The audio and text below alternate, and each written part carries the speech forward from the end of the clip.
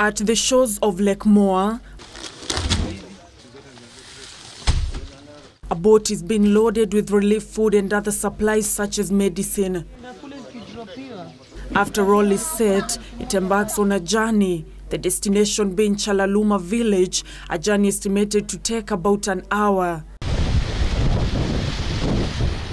And as you approach the village, the havoc caused by the flood water is evident. Submerged houses characterize the situation, with social amenities such as playgrounds not being spared either. And as they go about their day-to-day activities,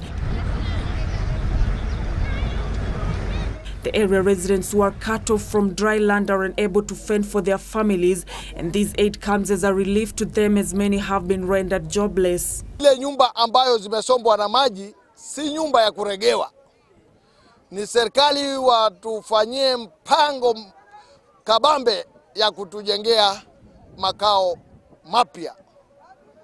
Eh, kila moja nyumba yake imeanguka.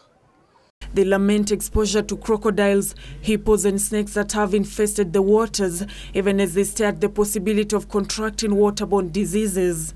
Magonjwa ya matumbo yameanza kuonekana onekana hapa na pale. Mama akitaka kuzaa leo i- ibidi tutumie njia ya kienyeji, kwa sababu kama alikuwa hakuna maji, tunapita na pikipiki, tunaweza kuenda hata hospitali, lakini saa hii kuna maji. Isitoshe, hata ikitokea emergency, dharura yoyote ile, mwanamke akitaka kujifungua lazima watu watumie njia ya kienyeji. Kijiji cha Chalaluma kina watu kina uh, familia 270 na 297 ambao wote hao wameweza kuathirika. Katika hizi familia 297, familia 132 nyumba zao zimeingia maji kiasi cha kuwa huwezi hata kuishi. The residents and area leaders now pointing an accusing finger at Kengen for their wars saying it releases water downstream, causing the perennial flooding. Eh, Kenjel wametuathiri vibaya sana.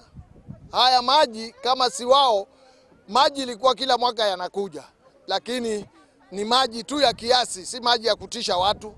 Lakini mara hii wametufungulia maji bust. Kule zilitolewa recommendation nyingi. Recommendation ya kwanza waliambiwa hiyo damu yao waongeze ukuta, na mpaka sasa haijaongezwa. Waliambiwa waende wa sensitize wananchi walioko katika hiyo maeneo, wawaambie lini itakuja mvua na ikija mfanye nini, muondoke nini. Huku kama Lamu hawakuja hata siku moja, wamekuja ju, juzi kuleta 50 bags za chakula. Nancy Okware, Channel One News.